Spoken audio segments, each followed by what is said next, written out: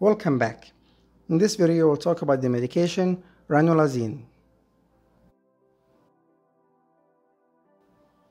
This medication is mainly used to treat angina that has not responded to any other medical treatment. It can also be used for cases where coronary artery bypass is not feasible or ineffective. It's a sodium channel blocker and it works by decreasing the cardiac demand of oxygen, but it does not affect the heart rate or the blood pressure.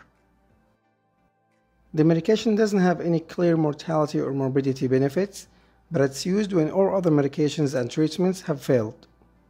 So the decision to use it has to be considered on a case-by-case -case basis. There are no clear distinctive side effects, simply the general stuff for cardiac medications, such as headache, nausea, constipation, and maybe abdominal pain. And here's a small quiz.